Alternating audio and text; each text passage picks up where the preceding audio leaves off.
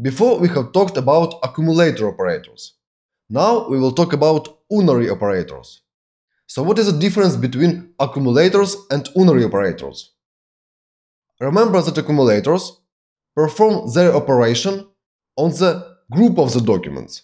So they accumulate certain value. For example, sum accumulates total count. Unary operators perform operation for each document. They don't work for entire group.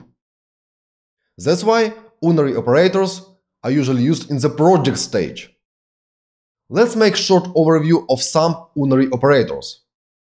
Type. It will take value of certain field and output its BSON type, like string or integer and so on.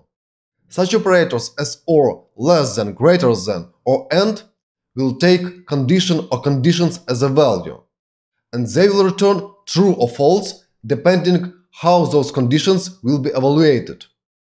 For example, OR can take several conditions as a value. If at least one condition is true, then result will be true, and so on.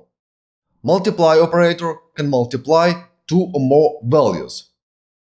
There are two important things that you need to remember about unary operators. First one. Unary operators are usually used in the project stage because they work per document, and project stage also works per document, so it takes each document as an input and outputs one document per each input document. So you can add some additional fields that will use those unary operators inside of them.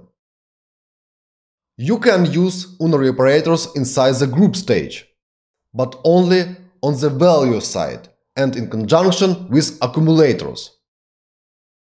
Okay, let's go on and let's discuss type unary operator. See you in a second.